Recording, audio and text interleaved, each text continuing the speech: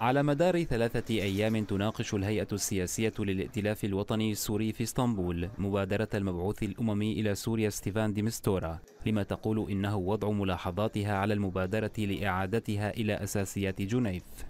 اجتماع وصف بالطارئ والمستعجل فيما يبدو استشعارا من الائتلاف بأنه أصبح خارج المعادلة التفاوضية كطرف رئيسي. الاجتماع طارئ لأنه اليوم آه، الأوراق المطروحة تتضمن الدخول في عملية جديدة تختلف بتصوري كليا عن آه، بيان جنيف.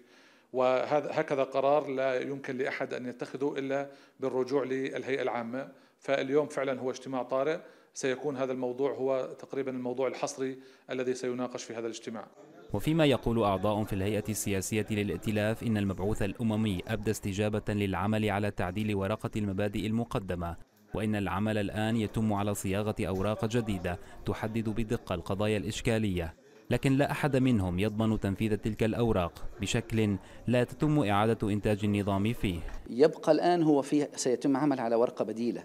الآن الائتلاف سيكون متابعا لأن يكون الأوراق البديلة التي سيتم اقتراحها في الفترة القادمة أن تستجيب لما يريده السوريون في موضوع اللي حكيناه الآن اللي هو موضوع الهيئة الحاكم الانتقالية وتمثيل المعارضة وأن لا يكون في هناك إطلاقا أي فرصة يفهم منها أنها تعويم للنظام أو حتى أجزاء منه. ورغم أن ديمستورا خلال اجتماعه الأخير مع أعضاء الائتلاف أسمعهم كلاما مغايرا لما قدم لمجلس الأمن وما تضمنته المبادرة الجديدة لكن معظمهم يرى أن شروط وملاحظات الائتلاف السياسية ستفرض نفسها على المبادرات الدولية. يقول أعضاء الائتلاف المجتمعون هنا إنهم يبحثون آلية لتعديل مبادرة ديمستورا التي يصفونها بأنها ابتعدت عن بيان جنيف.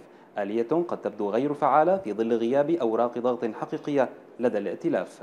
عمار أورينت نيوز إسطنبول.